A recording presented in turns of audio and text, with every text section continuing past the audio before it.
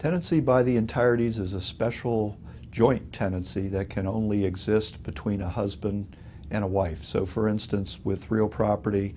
if you were to take title in your own name and your wife's name together and the deed refers to you as husband and wife, then on the passing of one spouse, title to that property automatically passes to the other spouse as a joint tenant uh, through the right of survivorship.